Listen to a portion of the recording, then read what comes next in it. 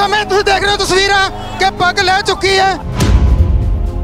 ਆਪਾਂ ਜਿੱਥੇ ਖੜੇ ਆ ਇਹ ਸਰਕਾਰੀ ਹਸਪਤਾਲ ਹੈ ਬਾਈ ਜੀ। ਸਰਕਾਰੀ ਹਸਪਤਾਲ ਨੂੰ ਇੱਕ ਤਰ੍ਹਾਂ ਦੇ ਨਾਲ ਆਪਾਂ ਜੇਲ੍ਹ ਦੇ ਵਿੱਚ ਕਹਿ ਦਈਏ ਵੀ ਤਬਦੀਲ ਕਰ ਕੀਤਾ ਗਿਆ ਕਿਉਂਕਿ ਆਲੇ ਦੁਆਲੇ ਇੱਥੇ ਪੁਲਿਸ ਖੜੀ ਹੈ। ਔਰ ਇੱਥੇ ਕੁਝ ਲੋਕ ਨੇ ਜਿਨ੍ਹਾਂ ਦੀਆਂ ਪੱਗਾਂ ਉਤਰੀਆਂ ਹੋਈਆਂ ਨੇ। ਇਹ ਕਿਹੜੀਆਂ ਗਤੀਵਿਧੀਆਂ ਦੇ ਵਿੱਚ ਐਕਟਿਵ ਰਹੇ ਨੇ? ਕੀ ਕੋਈ ਅੱਤਵਾਦੀ ਵਗੈਰਾ ਤਾਂ ਨਹੀਂ ਫੜ ਲਏ ਪੁਲਿਸ ਨੇ? ਜਦੋਂ ਅਸੀਂ ਗੱਲਬਾਤ ਕਰਨ ਵਾਸਤੇ ਆਉਂਦੇ ਆ ਤਾਂ ਤੁਹਾਡੇ ਸਾਹਮਣੇ ਜਿਹੜੀਆਂ ਸਾਡੀਆਂ ਪੱਗਾਂ ਲਾਹੀਆਂ ਜਾਂਦੀਆਂ ਐ ਪ੍ਰੈਸ ਦੁਆਰਾ ਵੀ ਵੀਡੀਓ ਬਣੀਆਂ ਮਾ ਹੈ ਵੀ ਅਸੀਂ ਆਪ ਲਾਈਆਂ ਜਾਂ ਇਹਨਾਂ ਮੁਲਾਜ਼ਮਾਂ ਦੁਆਰਾ ਲਾਈਆਂ ਗਈਆਂ ਜਾਂ ਇਹਨਾਂ ਦੇ ਮੁੱਖ ਮੰਤਰੀ ਦੇ ਕਹਿਣ ਤੇ ਲਾਈਆਂ ਗਈਆਂ ਐ ਤੁਹਾਨੂੰ ਵੀ ਕੋਈ ਕੀ ਕੀ ਹੋਇਆ ਤੁਹਾਡੇ ਨਾਲ? ਮੈਨੂੰ ਜੀ ਪੁਲਿਸ ਮੁਲਾਜ਼ਮ ਨੇ ਧੱਕਾ ਮਾਰਿਆ ਜੀ ਮੈਂ ਐਕਟਿਵਾ ਤੇ ਗਿਰ ਗਿਆ ਜੀ। ਐਕਟਿਵਾ ਦੇ ਮੋਟਰਸਾਈਕਲ ਦੇ ਵਿਚਾਲੇ ਮੇਰੀ ਲੱਤ ਆ ਗਈ ਜੀ। ਆ ਸਾਨੂੰ ਮੁੱਖ ਮੰਤਰੀ ਦੁਆਰਾ 21 ਮੀਟਿੰਗਾਂ ਜਿਹੜੀਆਂ ਲਿਖਤੀ ਦਿੱਤੀਆਂ ਗਈਆਂ ਸਾਡੇ ਕੋਲ ਕੱਲਾ ਕੱਲਾ ਰਿਕਾਰਡ ਹੈ। ਕਮਾਲ ਦੀ ਗੱਲ ਹੈ ਕਿ 21 ਵਾਰ ਉੱਥੇ ਸੱਦ ਕੇ ਉੱਥੋਂ ਜਾ ਕੇ ਵਾਪਸ ਮੋੜ ਦਿੱਤਾ ਜਾਂਦਾ ਹੈ। ਬੱਸ ਖੜੀ ਆ ਬਾਈ ਉਹ ਦੇਖੋ ਆ ਕੇ ਮੁਲਾਜ਼ਮ ਵਾਲੀ ਕਹਿੰਦੇ ਤੁਹਾਨੂੰ ਤਾੜ ਕੇ ਲੈ ਆਣਾ ਇਹਦੇ 'ਚ। ਅਸੀਂ ਕਹਿੰਦੇ ਸਾਨੂੰ ਮਾਰੋ ਗੋਲੀ ਜਿੱਥੇ ਮਾਰਨੀ ਆ। ਹੁਣ ਮਾਰੋ। ਮੈਨੂੰ ਤਾਂ ਖਿੱਚਿਓ ਫੜ ਕੇ ਲੈ ਕੇ ਆਏ। ਇੱਥੇ ਡੰਡਾ ਹੀ ਮਾਰਿਆ ਹੋਇਆ ਇੱਥੇ। ਤੁਸੀਂ ਦੇਖਦੇ ਹੋਣੇ ਆ ਕਿ ਕੇਜਰੀਵਾਲ ਨੂੰ ਗ੍ਰਿਫਤਾਰ ਕੀਤਾ ਜਾਂਦਾ ਹੈ। ਸਾਡੇ ਇੱਕ ਮੰਤਰੀ ਸਾਹਿਬ ਜਾ ਕੇ ਉੱਥੇ ਧਰਨਾ ਲਾ ਕੇ ਬੈਠ ਜਾਂਦੇ ਆ। ਲੇਕਿਨ ਉਹ ਧਰਨਾ ਉਹਨਾਂ ਵਾਸਤੇ ਜਾਇਜ਼ ਹੈ। ਜੇ ਅਸੀਂ ਆਪਣੀ ਹੱਕੀ ਦੇ ਜਾਇਜ਼ ਮੰਗ- ਵਾਸਤੇ ਅਸੀਂ ਧਰਨਾ ਲਾਈਏ ਤਾਂ ਅਸੀਂ ਅੱਤਵਾਦੀ ਇਹਨਾਂ ਵਾਸਤੇ ਅੱਤਵਾਦੀ ਕਹਾਂਦੇ ਆ। ਸਾਡਾ ਬਦਲਾਅ ਨਹੀਂ ਆ ਤੁਹਾਡੇ ਵਿਆਹ ਜ਼ਰੂਰ ਹੋ ਰਿਹਾ ਹਰੇਕ ਐਮਐਲਏ ਕੁਵਾਰਾ ਬੈਠਾ ਮੈਨੂੰ ਲੱਗਦਾ ਨਹੀਂ ਮੁੜ ਕੇ ਤੁਹਾਡੇ ਵਿਆਹ ਹੋ ਜਾਣਗੇ। ਆਹੀ ਸਰਕਾਰ ਚ ਕਰਾ ਲਓ ਜਿੰਨੇ ਕਰਾ ਹੋ ਸਕਦੇ ਆ। ਤੁਹਾਡਾ ਹੰਕਾਰ ਟੁੱਟਣ ਵਾਲਾ। ਉਹ ਕਹਿੰਦੇ ਜੀ ਪਿਛਲੀਆਂ ਸਰਕਾਰਾਂ ਦੇ ਪਾਏ ਹੋਏ ਪੁਆੜੇ ਆ।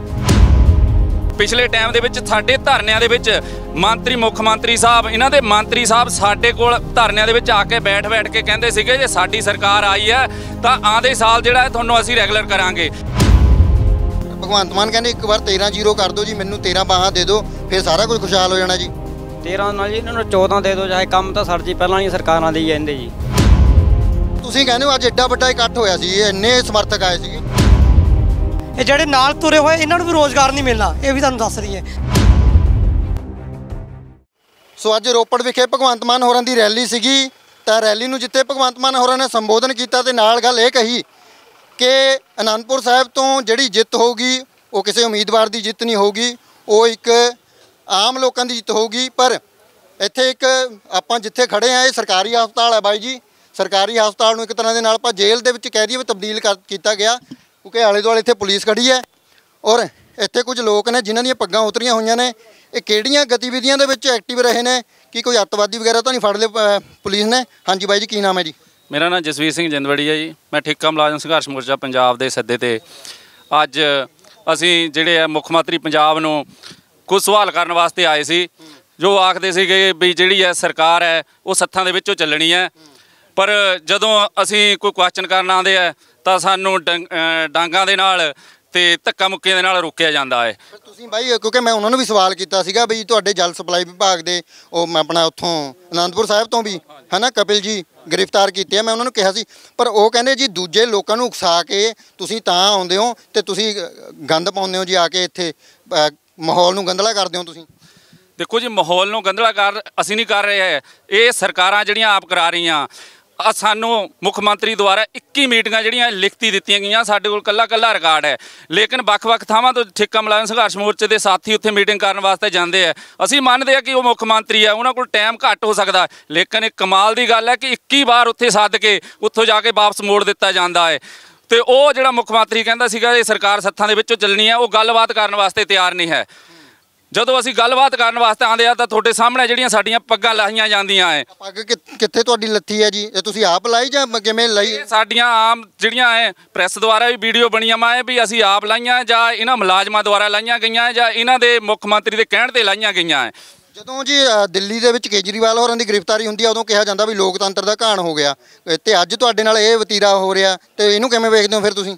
ਦੇਖੋ, ਜਦੋਂ ਤੁਸੀਂ ਦੇਖਦੇ ਹੋਣੇ ਆ ਕਿ ਕੇਜਰੀਵਾਲ ਨੂੰ ਗ੍ਰਿਫਤਾਰ ਕੀਤਾ ਜਾਂਦਾ ਹੈ, ਸਾਡੇ ਇੱਕ ਮੰਤਰੀ ਸਾਹਿਬ ਜਾ ਕੇ ਉੱਥੇ ਧਰਨਾ ਲਾ ਕੇ ਬੈਠ ਜਾਂਦੇ ਆ। ਲੇਕਿਨ ਉਹ ਧਰਨਾ ਉਹਨਾਂ ਵਾਸਤੇ ਜਾਇਜ਼ ਹੈ। ਜੇ ਅਸੀਂ ਆਪਣੀ ਹੱਕੀ ਦੇ ਜਾਇਜ਼ ਮੰਗ- ਮੰਗਾਂ ਵਾਸਤੇ ਅਸੀਂ ਧਰਨਾ ਲਾਈਏ, ਤਾਂ ਅਸੀਂ ਅੱਤਵਾਦੀ ਇਹਨਾਂ ਵਾਸਤੇ ਅੱਤਵਾਦੀ ਕਹਾਂਦੇ ਆ। ਅਸੀਂ ਮਾਹੌਲ ਨੂੰ ਗੰਦਾ ਕਰਦੇ ਆ। ਜੇ ਇਹ ਐਨੇ ਹੀ ਕਹਿੰਦੇ ਮਾਹੌਲ ਨਾਲ ਤਾਂ ਬੈਠ ਕੇ ਗੱਲਬਾਤ ਕਰਨ ਸਾਡੇ ਨਾਲ। ਗੱਲਬਾਤ ਕਿਉਂ ਸਾਡੇ ਗੱਲਬਾਤ ਦੇ ਨੱਠਦੇ ਆ? ਅਸੀਂ ਚਾਰ ਕੁਐਸਚਨ ਕਰਨਾ ਚਾਹੁੰਦੇ ਆ, ਸੁਣਨ ਸਾਡੀ ਗੱਲਬਾਤ ਆ ਕੇ। ਉਹ ਕਹਿੰਦੇ ਜੀ ਪਿਛਲੀਆਂ ਸਰਕਾਰਾਂ ਦੇ ਪਾਏ ਹੋਏ ਪੁਆੜੇ ਆ। ਬਾਈ ਜੀ, ਅਜਿਹੀਆਂ ਗਲਤੀਆਂ ਕੀਤੀਆਂ ਹੋਈਆਂ ਸਰਕਾਰਾਂ ਨੇ ਵੀ ਤੁਹਾਡੇ, ਸਾਡੇ ਤਾਂ ਵਕੀਲਾਂ ਦੀ ਵੀ ਪੇਸ਼ ਨਹੀਂ ਚੱਲਦੀ ਜੀ ਅਦਾਲਤਾਂ ਦੇ ਵਿੱਚ। ਇਹ ਤੁਹਾਨੂੰ ਵੀ ਪਿਛਲੀਆਂ ਕਾਂਗਰਸ ਦੀਆਂ ਜਾਂ ਅਕਾਲੀਆਂ ਨੇ ਦੁਖੀ ਕੀਤਾ ਹੋਇਆ ਹੋਣਾ ਬਾਈ?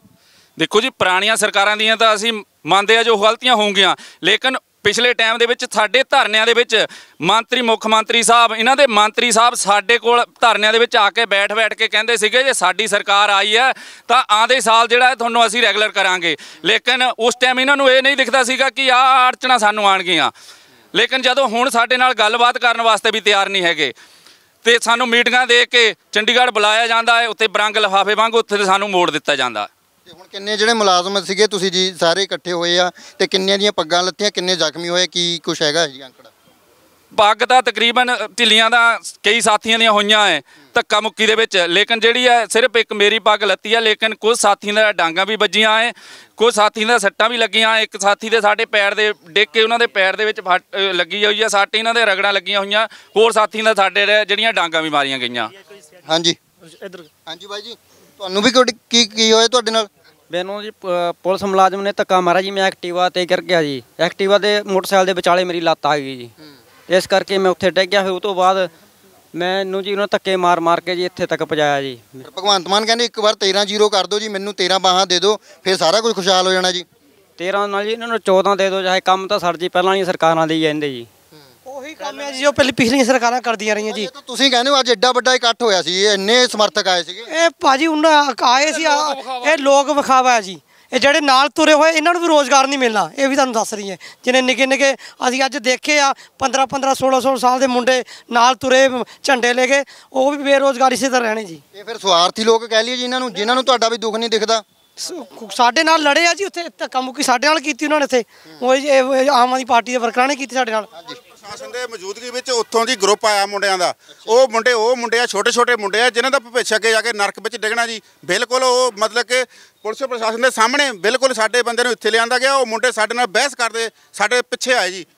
ਕਿਆ ਇਹ ਮਤਲਬ ਕਿ ਉਹ ਮੁੰਡੇ ਉਹ ਹੋ ਗਏ ਜਿਨ੍ਹਾਂ ਦੀ ਮੈਂ ਤੁਹਾਨੂੰ ਦਾਅਵੇ ਨਾਲ ਕਹਿਣਾ ਜੀ, ਉਹਨਾਂ ਦੀ ਹਜੇ ਤੱਕ ਵੋਟ ਵੀ ਨਹੀਂ ਬਣੀ ਹੋਣੀ। ਉਹ ਜਿਹੜੇ ਜਿਹੜੇ ਲੋਕ ਤੁਸੀਂ ਕਹਿੰਦੇ ਹੁੰਦੇ ਮਗਰ ਤੁਰੇ ਫਿਰਦੇ ਆ, ਉਹ ਇੱਕ ਅਣਜਾਣ ਪੁਣੇ ਅਣਪੌਲ ਪੁਣੇ ਵਿੱਚ ਹਲਕੇ ਹਲਕੇ ਮੁੰਡੇ ਜਿਹੜੇ ਮਗਰ ਤੁਰੇ ਪਏ ਆ, ਜਿਨ੍ਹਾਂ ਨੂੰ ਇਹ ਤੱਕ ਨਹੀਂ ਪਤਾ ਵੀ ਇਹ ਸਰਕਾਰਾਂ ਨੇ ਤੁਹਾਡਾ ਆਉਣ ਵਾਲਾ ਕੱਲ ਨੇਰੇ ਵਿੱਚ ਪਾ ਦਿੱਤਾ ਹੈ ਜੀ। ਉਹਨਾਂ ਨੂੰ ਇਹ ਨਹੀਂ ਪਤਾ ਕਿ ਜਿਹੜੇ ਤੁਸੀਂ ਲੱਖਾਂ ਰੁਪਏ ਲਾ ਕੇ ਪੜ੍ਹਾਈ ਕਰ ਰਹੇ ਹੋ, ਉਹ ਤੁਹਾਡੀ ਕਿਸੇ ਕੰਮ ਨਹੀਂ ਆਣੇ ਕਿਉਂਕਿ ਇਸ ਗੰਦੀਆਂ ਸਰਕਾਰਾਂ ਨੇ ਕਾਰਪੋਰੇਟਰ ਘਰਾਣਿਆਂ ਨੂੰ ਸਾਰੇ ਸਰਕਾਰੀ ਅਦਾਰੇ ਵੇਚ ਦਿੱਤੇ ਐ ਸਕੂਲ ਹੋ ਗਿਆ। ਕਾਲਜ ਹੋ ਗਏ, ਆਪਣਾ ਹਸਪੀਟਲ ਹੋ ਗਏ। ਜਿਹੜੀ ਬੁਨਿਆਦੀ ਸਹੂਲਤਾਂ ਹੈ, ਉਹ ਸਾਰੀ ਇਹਨਾਂ ਨੇ ਕਾਰਪੋਰੇਟ ਘਰਾਣੇ ਨੂੰ ਵੇਚ ਦਿੱਤੀਆਂ ਹੈ ਤੇ ਜਿਹੜੇ ਉਹ ਲੋਕ ਜਿਹੜੇ ਮਗਰ ਤੁਰੇ ਫਿਰਦੇ ਆ, ਲੱਖ ਰੁਪਏ ਲਾ ਕੇ ਜਿਹਨੇ ਪੜ੍ਹਾਈ ਕੀਤੀ, ਉਹਨਾਂ ਨੂੰ ਇਹ ਨਹੀਂ ਪਤਾ, ਆਉਣ ਵਾਲੇ ਕੱਲ ਚ ਪਤਾ ਲੱਗੂਗਾ ਵੀ ਅਸੀਂ ਮਗਰ ਤੁਰੇ ਫਿਰਦੇ ਆ, ਅਸੀਂ ਰੁੜ ਰਹੇ ਆ, ਅਸੀਂ ਆਪਣਾ ਭਵਿੱਖ ਖਰਾਬ ਕਰ ਰਹੇ ਆ। ਸਾਡਾ ਤਾਂ ਅੱਧ ਤੱਕ ਜ਼ਿੰਦਗੀ ਜਿਹੜੀ ਹੈ ਲੰਘ ਚੁੱਕੀ ਹੈ, ਕਿਉਂਕਿ 15 15 ਸਾਲ ਸਾਨੂੰ ਇਸ ਮਹਿਕਮੇ ਵਿੱਚ ਧੱਕੇ ਖਾਂਦੇ ਨੇ ਹੋ ਚੁੱਕਿਆ।